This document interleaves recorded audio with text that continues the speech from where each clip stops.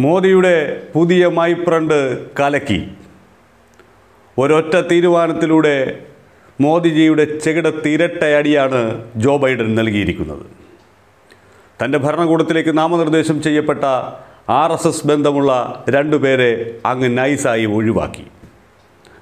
അതുമാത്രമല്ല പൗരത്വ വിരുദ്ധ പോരാട്ടത്തിന് നേതൃത്വം നൽകിയ വനിതാ നേതാവിനെയും ആർ എസ് എസിനും ബി ജെ പിക്കുമെതിരായിട്ടുള്ള കൃത്യമായ നിലപാടുകൾ പലപ്പോഴും പ്രഖ്യാപിച്ചിട്ടുള്ള വനിതാ നേതാവിനെയും തന്റെ ഭരണകൂടത്തിൽ ഉൾപ്പെടുത്തുകയും ചെയ്തു. ഇതിലും വലിയ ഗംഭീര തുടക്കം എങ്ങനെയാണ് ജോ ബൈഡന് മോദിക്ക് നൽകാനാവുക? മോദിക്ക് വേണ്ടി അമേരിക്കയിൽ ജയ് വിളിച്ചുകൊണ്ടിരുന്ന ട്രംപിന്റെ പ്രചരണത്തിന് വേണ്ടി സംഘടിപ്പിച്ച ഹൗഡി മോഡി പരിപാടി സംഘടിപ്പിക്കുന്നതിന് വേണ്ടി മുൻനിരയിൽ നിന്ന സൊണാൽ ഷാ അമിത് ജാനി എന്നിവരെയാണ് തന്റെ ഭരണകൂടത്തിൽ നിന്ന് ഒഴിവാക്കാനുള്ള തീരുമാനം ജോ ബൈഡൻ പ്രഖ്യാപിക്കുന്നത്. അമേരിക്കയിലെ ഇന്ത്യൻ സംഘടനകൾ ഒന്നടങ്കം അവിടെ ബി ജെ പി അനുകൂലിക്കുന്ന ഒന്നോ രണ്ടോ സംഘടനകൾ ഒഴികെയുള്ള ബാക്കി സംഘടനകൾ ഒന്നടങ്കം ഇവരെ രണ്ടുപേരെയും ഭരണകൂടത്തിൽ നിന്ന് ഒഴിവാക്കണം എന്ന് ജോ ബൈഡനോട് അഭ്യർത്ഥിച്ചിരുന്നു.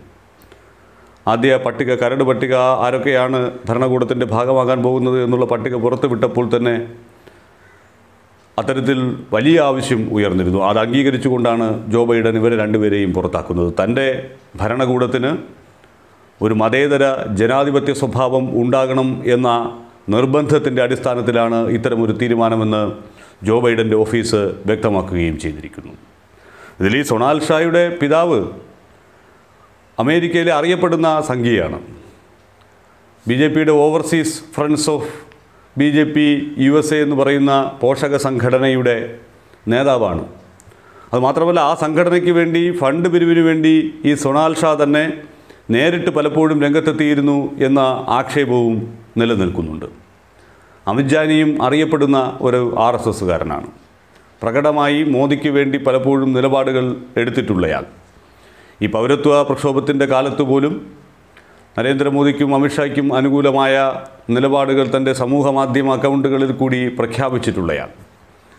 ഡെമോക്രാറ്റുകളുടെ ഭാഗമായി പ്രവർത്തിക്കുന്നവരാണ് എങ്കിൽ പോലും അത്തരത്തിൽ ആർ എസ് എസിനോട് ബന്ധം പുലർത്തുന്ന മോദിയോട് ഭക്തി കാട്ടുന്ന ഈ രണ്ടു പേരും തന്റെ ഭരണകൂടത്തിൽ വേണ്ട എന്നുള്ള അതിനിർണായകമായ തീരുമാനമാണ് ജോ ബൈഡൻ പ്രഖ്യാപിക്കുന്നത്. അതായത് തന്റെ ഭരണകൂടം ഒരിക്കലും നരേന്ദ്രമോദിക്കോ നരേന്ദ്രമോദിക്ക് ഉപദേശം കൊടുക്കുന്ന ആർ എസ് എസിനോ വഴങ്ങിക്കൊടുക്കുന്നവരല്ല എന്നുള്ള കൃത്യമായ സന്ദേശം.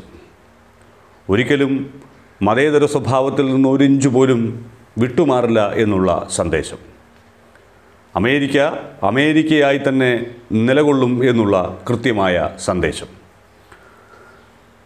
ഈ രണ്ടുപേരെയും തന്റെ ഭരണകൂടത്തിൽ നിന്ന് ആർ എസ് എസ് ബന്ധത്തിന്റെ പേരിൽ ഒഴിവാക്കിയതിനോടൊപ്പം തന്നെ കശ്മീർ വംശജയായ ഐഷാഷായെ തന്റെ ഭരണകൂടത്തിലേക്ക് കൊണ്ടുവരാനും ജോ ബൈഡൻ നീക്കം നടത്തിയിരിക്കുന്നു. ശ്രദ്ധേയമായ കാര്യമാണ്.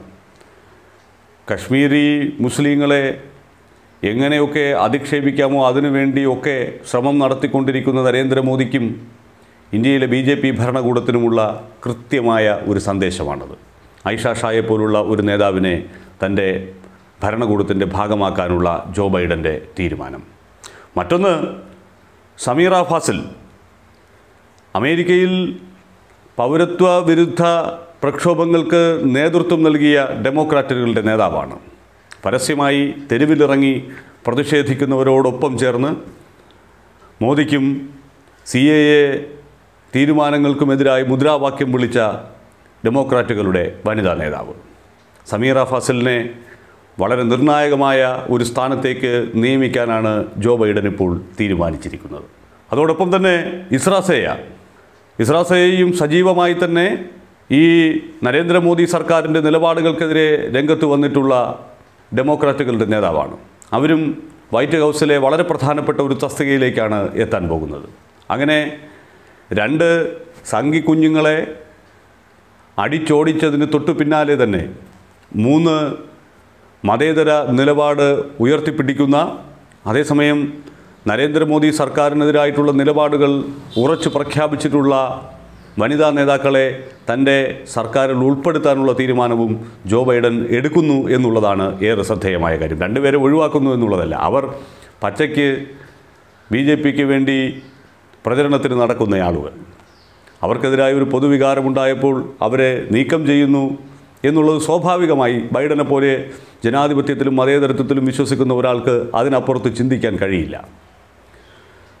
നരേന്ദ്രമോദി ബൈഡൻ സ്ഥാനമേറ്റ ഉടനെ തന്നെ ബൈഡനും കമലാ ഹാരിസും മൈ ഫ്രണ്ടുകളാണ് എന്ന് പറഞ്ഞ് ഇനി നമുക്ക് കെട്ടിപ്പിടിച്ചൊരുമിച്ച് മുന്നോട്ട് പോകാം എന്നൊക്കെ ട്വിറ്ററിൽ കൂടി പറഞ്ഞുവെങ്കിലും ജോ ബൈഡന്റെ മനസ്സിലത് മായുമോ?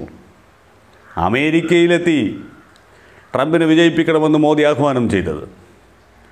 ട്രംപിനെ ഇന്ത്യയിൽ വിളിച്ചു കൊണ്ടുവന്ന് ലോകം കേൾക്കുമാർ ഉറക്കെ വിളിച്ചു പറഞ്ഞത് അബ് കി ബാർ ട്രംപ് സർക്കാർ എന്ന്.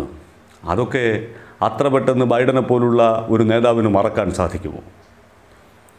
പക്ഷേ ഇന്ത്യൻ സമൂഹത്തോട് ഇന്ത്യയുടെ പരമപവിത്രമായ ജനാധിപത്യത്തോട് മതേതരത്വത്തോട് എന്നും ചേർന്ന് നിൽക്കുന്ന സമീപനമായിരിക്കും സ്വീകരിക്കുക എന്ന് ജോ ബൈഡൻ നേരത്തെ തന്നെ പ്രഖ്യാപിച്ചതാണ്. പക്ഷേ ഇന്ത്യൻ ജനാധിപത്യത്തെയും മതേതരത്വത്തെയും അട്ടിമറിക്കാൻ ശ്രമിക്കുന്നവർക്ക് പച്ചയായ വർഗീയത പറയുന്നവർക്ക് തന്റെ കൂട്ടത്തിൽ ഇടമില്ല എന്ന് അതിനേക്കാൾ ആവേശത്തോടു കൂടി വിളിച്ചു പറയാൻ ജോ ബൈഡന്റെ ഈ തീരുമാനത്തിലൂടെ സാധിക്കുന്നുണ്ട്.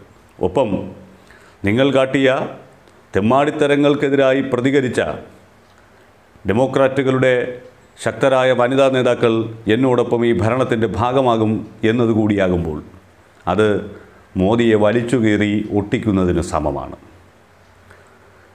ഇന്ത്യ അമേരിക്ക ബന്ധങ്ങളിലൊന്നും കാതലായ മാറ്റങ്ങൾ ഉണ്ടാകില്ല അത് നയതന്ത്രപരമായ കാര്യങ്ങൾ. പക്ഷേ രാഷ്ട്രീയ ബന്ധങ്ങൾ ഡൊണാൾഡ് ട്രംപിനെ നരേന്ദ്രമോദി ഈ രണ്ടു രാജ്യങ്ങൾ തമ്മിലുള്ള നയതന്ത്ര ബന്ധത്തിനപ്പുറത്തുള്ള ഇടപെടലിലൂടെയാണ് കണ്ടിരുന്നത്.